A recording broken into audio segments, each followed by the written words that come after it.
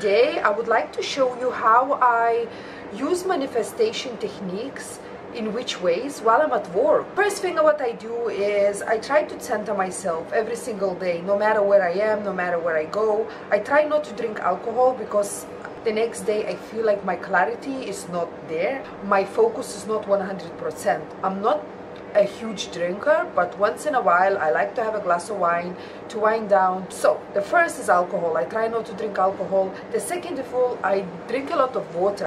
Oh, someone is calling. Let me answer the phone. Tavern, Renata speaking. How can I help you? So usually I cut myself some fruits, make myself hot water and lemon, or sometimes just plain water. And I always bless the food and bless the water. And I always say Shreem Brzee mantra because I've been doing this for years and I really like it. I see the results. And basically, the whole day I just kind of meditate and I always say thank you very much for the food, thank you very much for the water. I can feel the energy, I can feel that my life is getting better and better.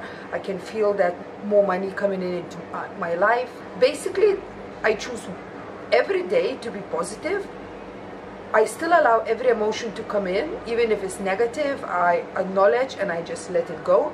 But once a week or twice a week, I'm immersing myself fully into Shreem Brzee mantra. I bless my water, I bless the food, and basically all day continue chanting Shreem Brzee, saying thank you for everything, and feeling the energy of more miracles coming into our lives, into my life. Dining area, bar,